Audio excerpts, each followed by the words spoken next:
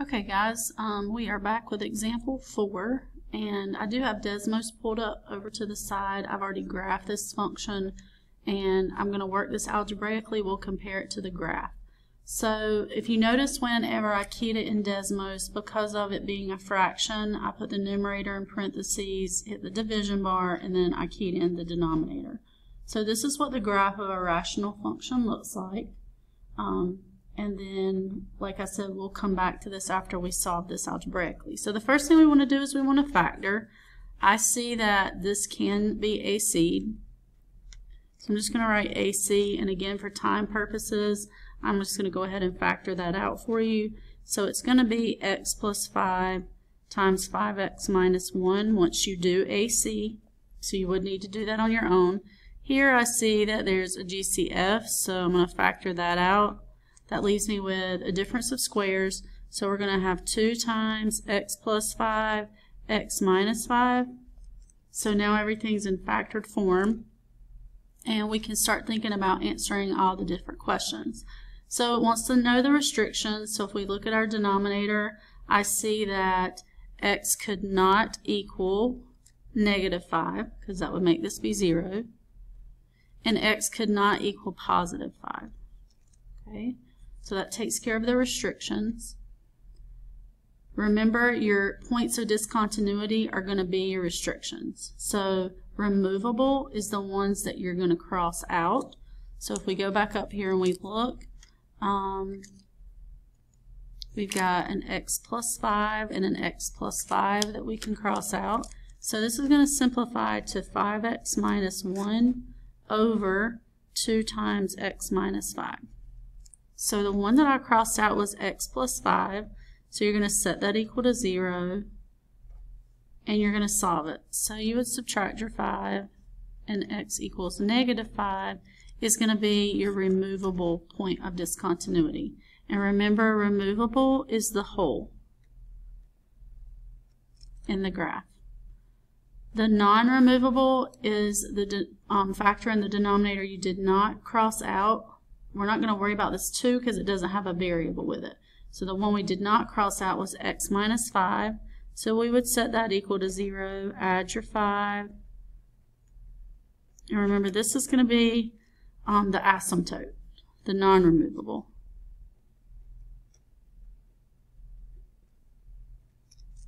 So for our domain, we're going to use our restriction. If you need to do that number line, you can but you're going to start at negative infinity. We're going to go up to negative 5 and negative 5 to positive 5 and 5 to infinity for your domain. Okay, so for your vertical asymptote, that's going to be the same as your non-removable. So x equals 5. And I'm just going to draw an arrow here for you. Horizontal comes from the chart. So I'm just going to write chart out here for you. So the horizontal, remember, is small over big, big over small, same over same. So if we look at this, you want to look at your original function. The degree of the numerator is 2, the degree of the denominator is 2. So this is same over same on the chart. So we take those leading coefficients. So that's going to be y equals 5 halves. And as a um, decimal, that would be y equals 2.5. That might help us just a little bit when we look at the graph in just a second. And then it says sketch the graph. I'm just going to put use Desmos here. So now let's go over to Desmos and let's verify everything. So it says we should have a hole in the graph at x equals negative 5. So if I come to negative 5 and I click on this point, do you see how it forms a hole there and says undefined? But if I drag it here at negative 4.6, you see how my y value is 1.25 and the, there's a um, the circle's filled in. But come back here to 5, see how it's an open circle? That's what the hole means in the graph. If you were graphing this by hand, you would literally draw a hole there in the graph. It says that we should have a vertical asymptote at x equals 5. So let's drag the graph over here. And remember, it's this vertical line that our graph gets closer and closer to, but will never touch. So if I zoom way out, you can see it's never going to touch that line x equals 5. It gets really close. Then it says horizontal asymptote should be at 2.5. So that would be here. So it gets really close, but it's never going to touch um, that graph there.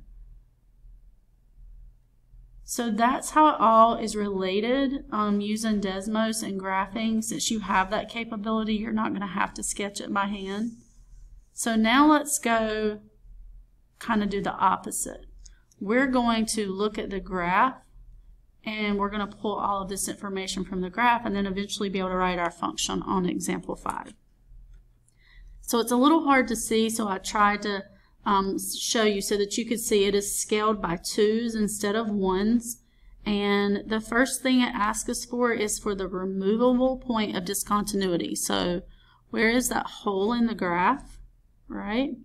So right here, if you look, so your function, it is a little hard to see, is basically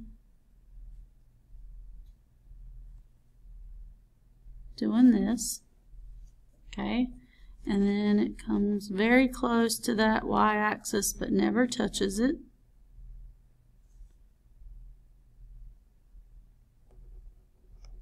And very close to that x-axis but never touches it. So we do have a hole in the graph right here at negative 4. So you're just going to write x equals negative 4. The vertical asymptote, so vertically, it never touches the y-axis. It gets really close, but it never touches. So that's at x equals 0. And then if we hop over here, and usually, guys, the asymptotes are drawn with a dashed line. There's another, another vertical asymptote at x equals 4. Okay, so then domain. Let's look at our domain. So our domain is, look at your x values. We're coming from negative infinity, and we come all the way to this negative 4, but then there's a break. So let's go ahead and write negative infinity to negative 4. Negative 4 is going to get a, a parentheses because it's got an open circle. Well, then we start back with our x values, and we continue all the way to 0. So negative 4 to 0 but then it never touches zero. So then I'm going to hop down to this part of the function. So I start back at zero and I go all the way to four, but it never touches four. So zero to four, again parentheses. And then I'm going to hop over this asymptote again and start back up at four and it's going to go to positive infinity. Okay. Again, you could have used your um, points of discontinuity to help you write that because remember these are your restrictions for your domain but I was trying to show you visually as well. So your horizontal asymptote this comes down and gets really close to the x-axis but never touches it. This comes up and gets really close but never touches it. Again, comes down, gets really close. So our horizontal asymptote is going to be y equals 0. And then it says write the equation of the function. Um, so on this, we're going to think about what you removed and what you did not remove. So removable would be the hole. So if the hole was at x minus 4, your factor would have been x plus 4. It has to go on top and bottom because remember we would remove it. That's the one we marked out. Non-removable is your vertical asymptote, okay? So what we would not have removed in the denominator, x equals 0 as a factor would just be x, and then x equals 4 would be x minus 4 as a factor. So x plus 4, x times x plus 4, x minus 4. And you can leave it in factored form. Sorry about that, guys. You can leave it in factored form if you would like. So that's how you would write your equation.